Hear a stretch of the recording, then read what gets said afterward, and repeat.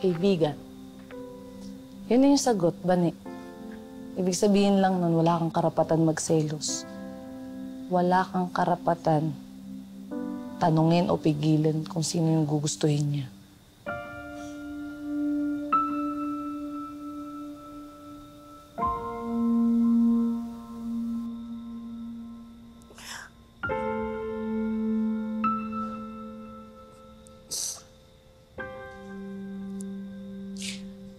Ang sakit pala marinig, no?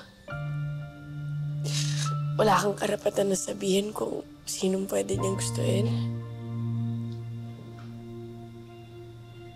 Ah.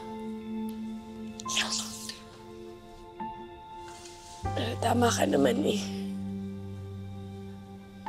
Wala naman talaga siyang pinangako sa akin eh. Ako lang naman to umaasa eh.